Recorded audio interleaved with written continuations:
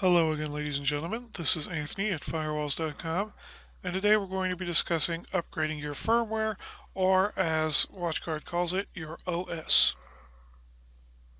So for starters we're simply going to go to System, Upgrade OS. As you can see here it's already notified me that I have a version available, otherwise you can check for new firmware.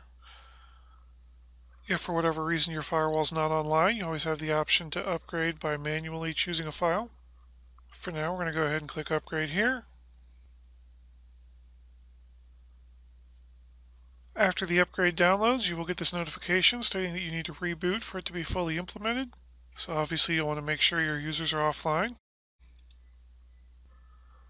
This will take several minutes, but we're going to go ahead and skip ahead. Now, just like it said it would, it brought us back to the login page. We'll go ahead and go back to System, Upgrade OS.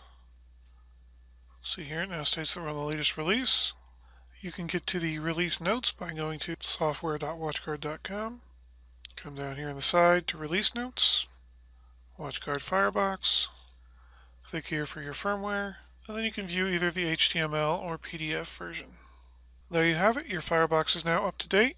Just remember to check back at least once a month or so. If you found this video helpful, please go ahead and give us a like, subscribe to the channel for future content. Feel free to leave comments and questions below. If you have any further firewall needs, check out firewalls.com, where as always we remind you to get secure, stay secure.